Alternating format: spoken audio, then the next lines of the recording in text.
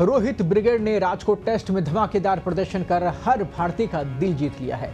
जहाँ रोहित शर्मा की कप्तानी से लेकर यशस्वी जायसवाल के तूफानी दोहरे शतक तक, हर किसी ने धांसू परफॉर्मेंस कर इंग्लैंड के बल्लेबाजों और इंग्लैंड की गेंदबाजों की हवा निकाल दी।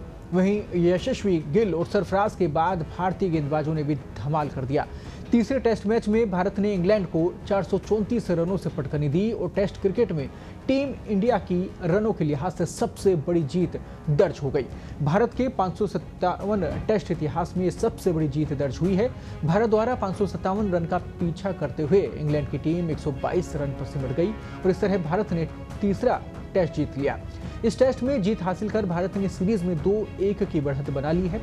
दरअसल राजकोट के निरंजन शाह स्टेडियम में खेले गए पाँच मैचों की टेस्ट सीरीज़ के तीसरे टेस्ट मैच में भारत का प्रदर्शन शुरुआत से ही कमाल का रहा।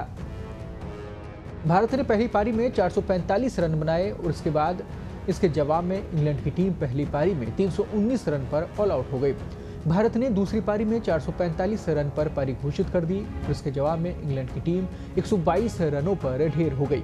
भारत की तरफ़ से यशस्वी जायसवाल ने दूसरी पारी में रिकॉर्ड तोड़, डबल सेंचुरी जमाई जबकि शुभमन गिल नौ रन से शतक से चूक गए।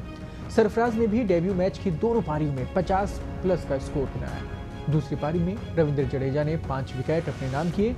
इंग्लैंड के खिलाफ राजकोट टेस्ट मैच में भारतीय टीम ने चार रनों से यादगार जीत हासिल की है।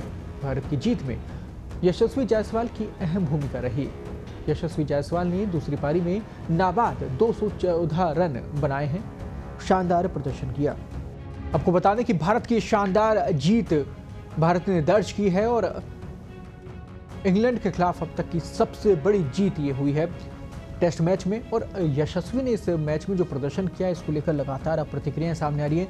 नाबाद दोहरा शतक उन्होंने जमाए यहाँ पर और सरफराज की भी कही जा सकती है कि डेब्यू मैच में उनका जो प्रदर्शन था, वो काबिल तारीफ़ रहा और ये भी अपने आप में जो एक्टिव मोड में वो नज़र आए, वो भी शानदार रहा। चाहे रविंद्र जडेजा की बात हो, कप्तान रोहित शर्मा की बात हो, शुभमन गिल की बात हो, हर किसी ने शानदार प्रदर्शन किया है और इसी का नतीजा रहा कि भारत इतनी बड़ी जीत हासिल करने में कामयाब रहा।